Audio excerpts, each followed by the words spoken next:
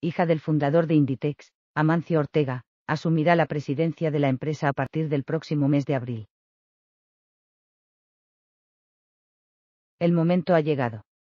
A sus 37 años y después de 15 años desarrollando su actividad en diferentes áreas, Marta Ortega Pérez, hija de Amancio Ortega, asumirá la presidencia de Inditex en sustitución de Pablo Isla.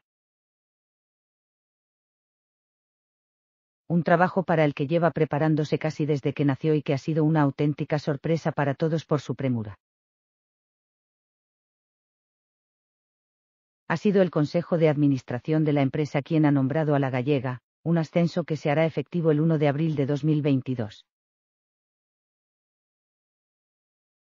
La reacción por parte de la protagonista no se hacía esperar, he vivido esta empresa desde mi infancia y he aprendido de todos los grandes profesionales con los que he trabajado durante los últimos 15 años.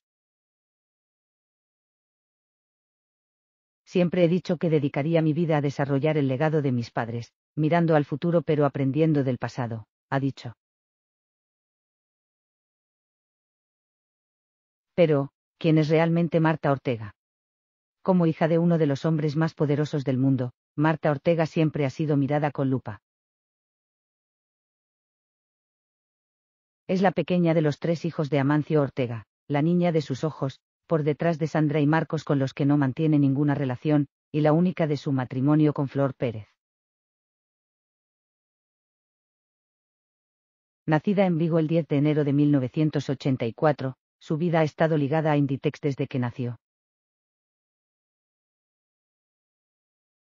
Sus padres se volcaron en que tuviera una formación ejemplar.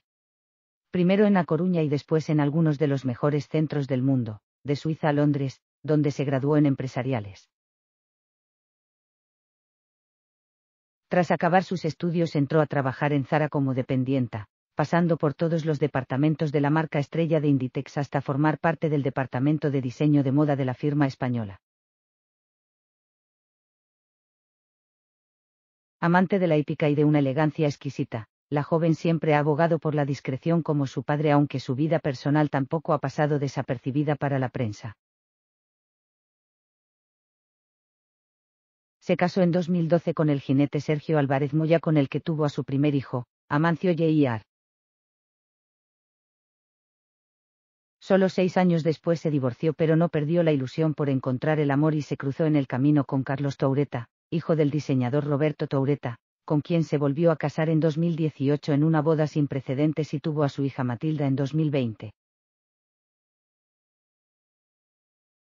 Con una vida muy estable en lo personal, ahora llega el momento de tomar las riendas de la empresa familiar. Sin duda, un reto por el que cuenta con el apoyo incondicional de su padre.